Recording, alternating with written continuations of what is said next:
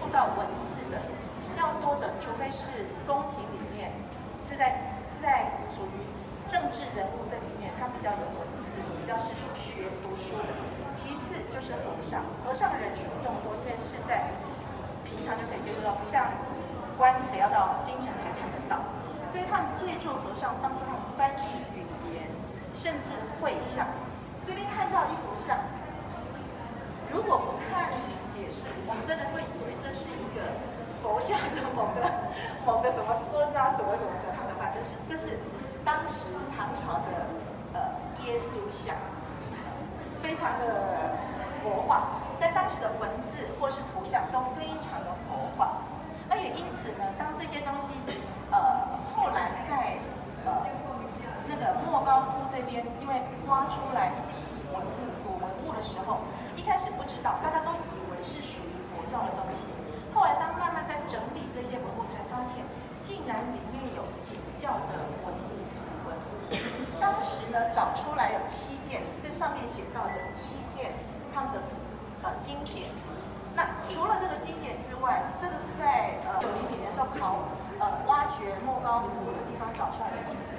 后来呢，在一九八八年又再一次的去挖掘，又再找出来两件跟景教有关的文物，一个是十字架，另外一个是叙利亚文的圣经。那这个是经过近代又在考证之后的新新发现的证据，所以就可以非常清楚的证明福音确实曾经到过中国。那我们这边可以看一下，在他呃发现的这一个呃文物里面呢，这一篇叫做《大情景叫三归蒙度赞》。什么叫做三归蒙度赞？也就是一篇赞美诗，是颂赞上帝的一一篇赞美诗。后来在一九三四年的时候，有人有把它谱成一个曲，然后就变成现在是在大陆的那个诗歌本。圣经的诗歌本里面都有这一首，所以是现在仍然普遍流行可以唱的诗歌。好，大秦景教三威蒙度在。